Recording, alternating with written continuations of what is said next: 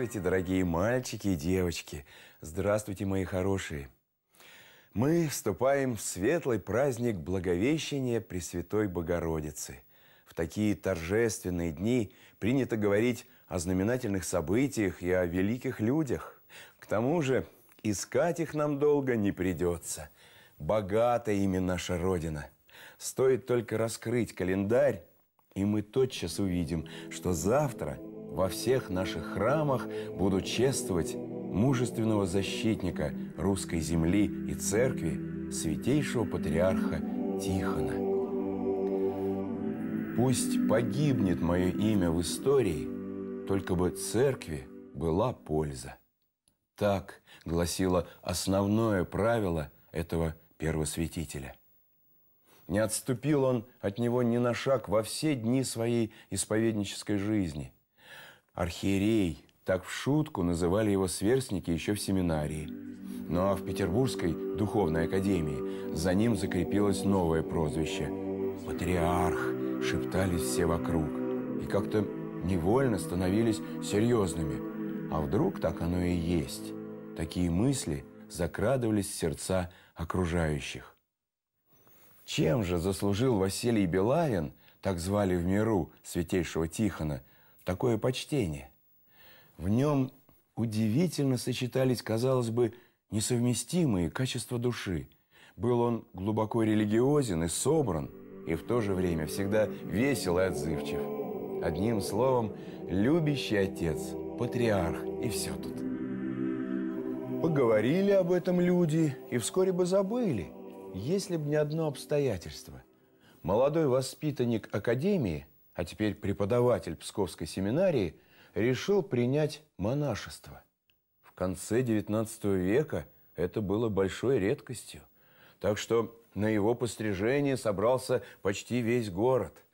Наречен он был Тихоном в честь святителя Тихона Задонского. Минуло семь лет, и вот он уже епископ. Да не где-либо, а в далекой Америке. После нее ждал его древнерусский город Ярославль, потом Вильна, а напоследок и сама первопрестольная, золотая наша Москва. И всюду люди, бедные и богатые, простые и знатные, всех надо принять, утешить, наставить. Не случайно, наверное, показал Господь владыке Тихону почти всю нашу необъятную планету и наделил его богатейшим жизненным опытом. Ведь готовил он его к жизни среди людей столь жестоких, что они больше походили на зверей какие не встречаются даже в самых диких и непроходимых дебрях. Наступил страшный для нашего Отечества 1917 год. К власти пришли большевики.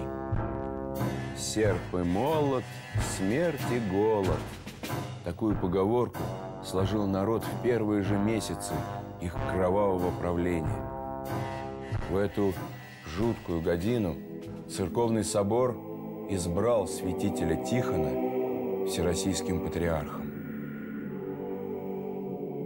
Сколько мне придется глотать слез и спускать стонов в предстоящем мне патриаршем служении, обратился он к участникам собора. Отныне на меня возлагается попечение о всех церквах российских, и предстоит умирание за них во вся дни. Но да будет воля Божия.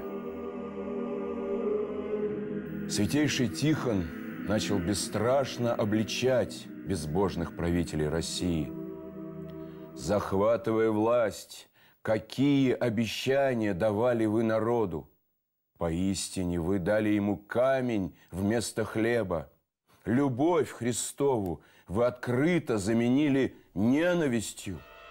Опомнитесь, безумцы, бросал он в лицо новым самозванцам, прекратите ваши кровавые расправы, ведь то, что творите вы, не только жестокое дело, это поистине дело сатанинское, за которое подлежите вы огню гиенскому в жизни будущей загробной и страшному проклятию потомства в жизни настоящей, земной.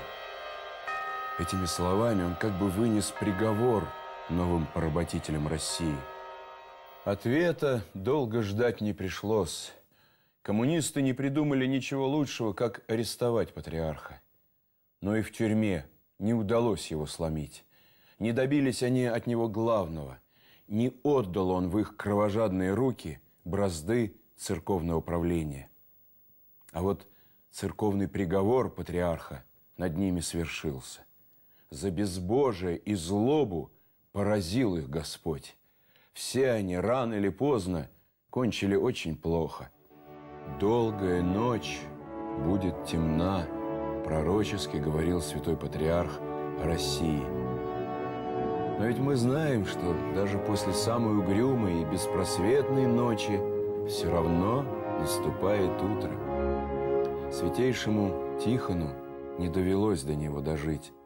Отошел он ко Господу еще до полуночи этой долгой темной ночи. За несколько мгновений до смерти он спросил, который час? Без четверти двенадцать, последовал ответ. Ну, слава Богу, с каким-то облегчением вырвалось у него из груди.